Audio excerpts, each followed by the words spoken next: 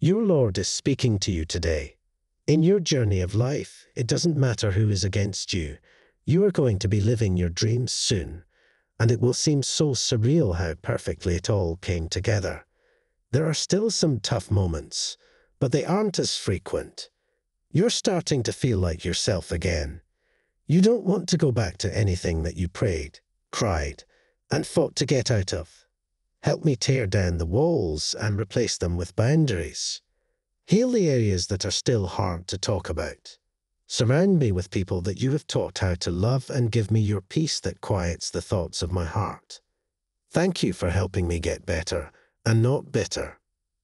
Two people who live close to your home are attempting to surprise you with something significant, and this message from your loved ones is helping you become aware of their plans.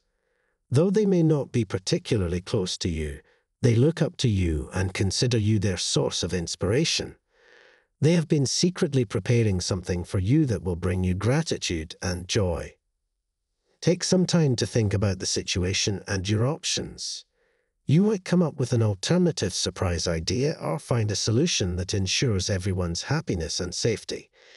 Keep in mind that your loved ones in paradise are watching over you and wish nothing but the best for you. By paying attention to their advice and implementing safety measures, you can prevent any potential danger and enjoy a pleasant surprise.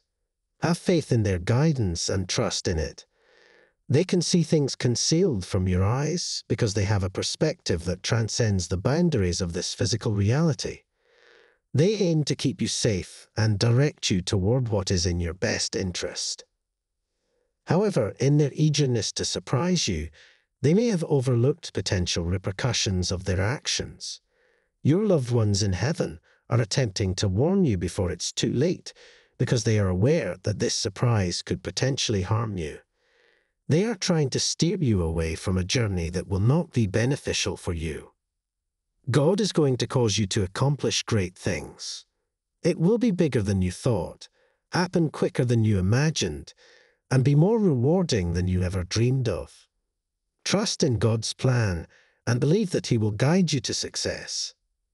Your God says, Don't be afraid to express your worries and ask questions if you feel that something isn't quite right or unpleasant about the surprise.